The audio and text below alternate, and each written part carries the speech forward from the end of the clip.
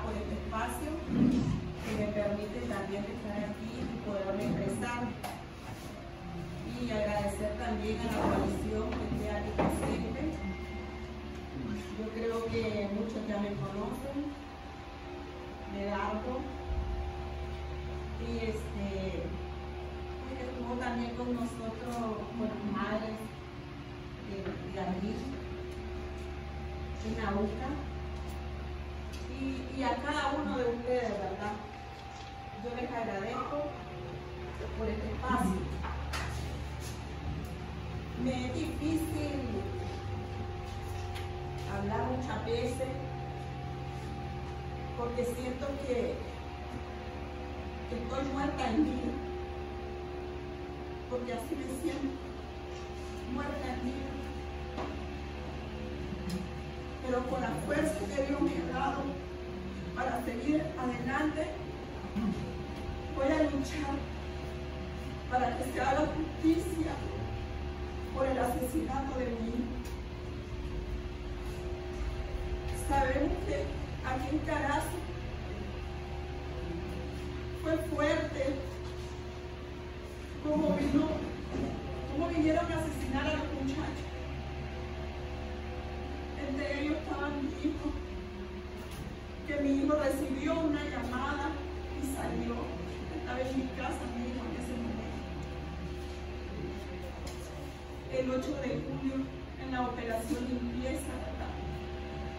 Es algo muy triste y muy lamentable.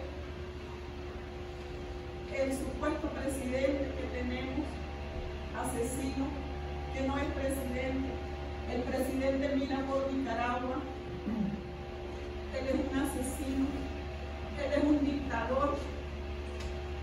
Él nos ha quitado nuestros hijos.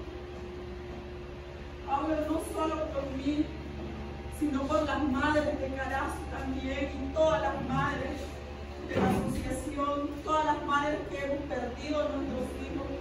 Es un dolor muy grande porque a mi hijo que estaba cumpliendo 20 años 20 años estaba cumpliendo mi hijo y me arrebataron todos sus sueños. Él tenía mucho futuro. Él es el menor de mis hijos. Solo dos hijos tuve yo. He sido padre y madre para mis hijos. Y de una manera muy cruel me arrebataron a mí. Quiero decir que aprovechar hasta la coalición ahorita. Cuando vinieron aquí a Carazo, todos saben de la manera cruel que se ensañaron en contra de nuestros hijos.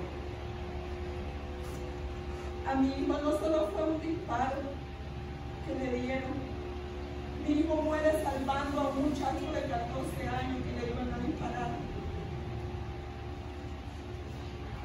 Mi hijo yo quedé traumada de todo lo que le hicieron a mi hijo.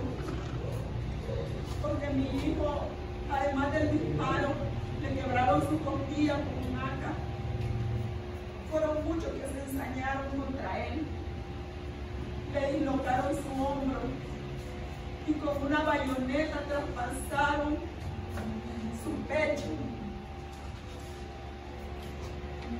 yo decía cuando me enfrenté a los paramilitares que le hicieran a mí lo que le hicieron a mi hijo.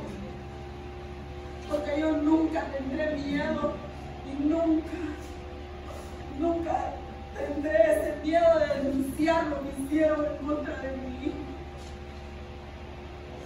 Por eso les digo, fue una manera muy cruel que le arrebataron la vida.